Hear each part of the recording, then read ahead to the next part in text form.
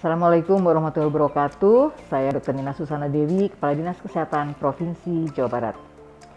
Mengingatkan bagi saudara-saudara yang merayakan Hari Raya Idul Fitri di kampung halaman, ada beberapa tips supaya mudik kita sehat, aman, dan selamat. Satu, agar stamina tetap prima, perbanyak makan buah dan sayur. Dua, cek kesehatan terlebih dahulu, baru berangkat mudik. Tiga, membawa obat-obatan pribadi. Dan keempat, jika di perjalanan merasa terganggu kesehatan, segera ke pos kesehatan yang terdekat. Lima, batasi barang-barang bawaan yang kita bawa supaya nyaman selama di perjalanan kita. Dan keenam, pastikan sebelum berangkat kita sudah vaksinasi booster, minimal sudah vaksinasi kedua.